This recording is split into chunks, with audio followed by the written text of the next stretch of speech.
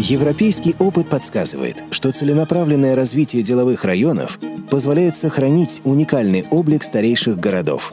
Деловые сети притягивают самые крупные и активные компании, защищая исторический центр от хаотичной офисной застройки. Однако таким компаниям необходимы офисы класса А, которых в Петербурге не хватает. За последний год в эксплуатацию был введен только один деловой центр, отвечающий мировым стандартам.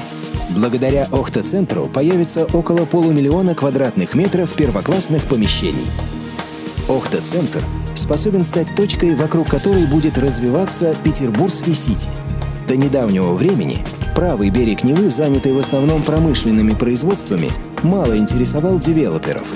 Сейчас планы по развитию Охта-центра привлекают инвесторов на прилегающие территории. Здесь появятся новые деловые центры и кварталы, общественные пространства, торговые, гостиничные и жилые комплексы.